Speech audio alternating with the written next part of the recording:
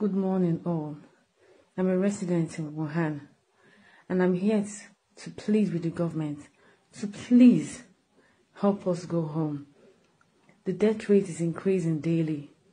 I've been indoor for the past three weeks. I haven't seen anyone. It's affecting us, affecting us psychologically. We have less food to eat. We are begging the government to please consider us as their own children. I'm a Nigerian living in Wuhan. Please, I'm begging Nigeria government. I'm here with my family. My son is here, a three years old boy. My wife is here. Please, we don't need money. Please, we beg you in the name of God.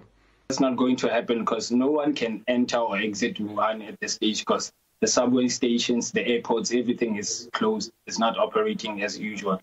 So um, currently, uh, there's no other way. The only way we can get out of this place is if the government tells the Wuhan government that uh, we need our student, students because of this virus, that's when they can take initiative.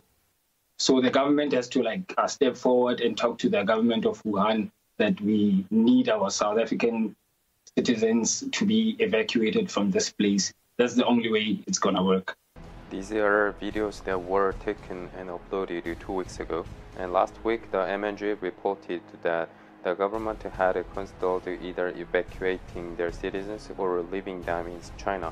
The evacuation option promoted concern about South Africa's capacity to handle COVID-19 and the risk of an outbreak in the country.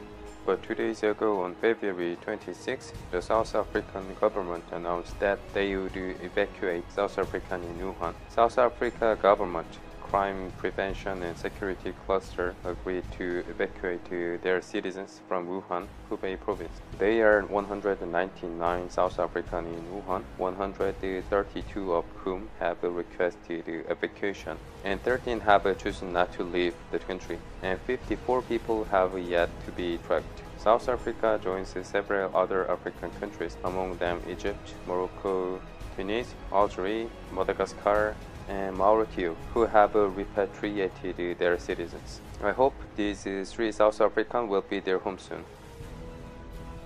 But unfortunately, today the first confirmed case occurred in Nigeria, South Africa's the busiest country, and also two days ago first case in Algeria. Algeria's government has confirmed one case of the coronavirus in the country amongst two suspected cases of Italian citizens.